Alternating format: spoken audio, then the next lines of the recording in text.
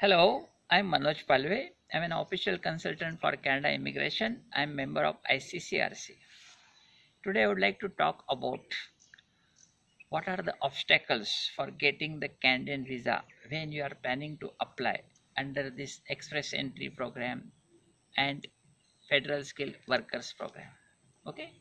The most important thing is to enter into the express entry database you must have at least 67 points if you are not reaching these 67 points you just cannot enter the express entry database. So please check whether in your federal skilled workers grid of points you are reaching 67 points. Second thing is after reaching into the express entry database also you must get the invitation.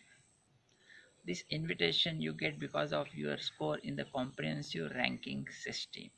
Currently as per today the lowest score this invitation for applies reaches uh, 413 so you should check whether your score is at least 400 plus because then you are having good chances of getting the invitation.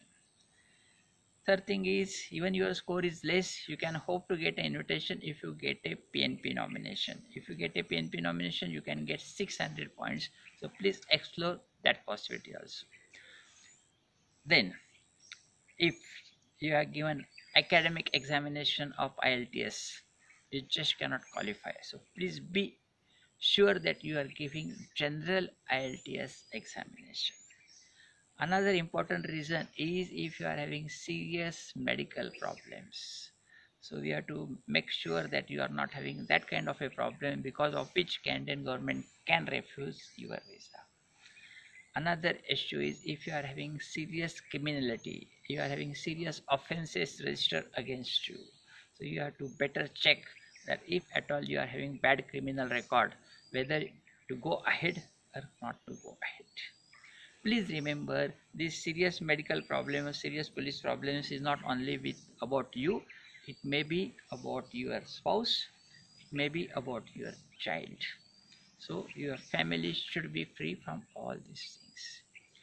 Another issue is you must have one year continuous experience in one occupation which is under this NOC code. So please make sure you must have at least one years of continuous work experience from one eligible occupation. That is again very very important. Another thing is that it is not applicable to all cases but if you have worked into military or police and if you have worked active duties in say in Kashmir or in um, this Arunachal Pradesh or in say in Punjab Canadian government are having some reservations. So you have to make sure that you are not under Canadian government this regulation about those people who are either in military or in police and who has had who has done active military duty in this area. Apart from these reasons there may be some other reasons like you have to give some occupation some eligible occupation your duties and responsibilities should be at least matching with that NOC code at least more than 70% it should be matching please check this thing also another thing is about police clearance certificate.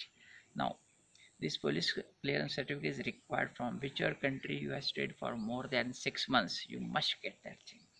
Sometimes people approach the local police office and they give a police clearance certificate for a only short duration.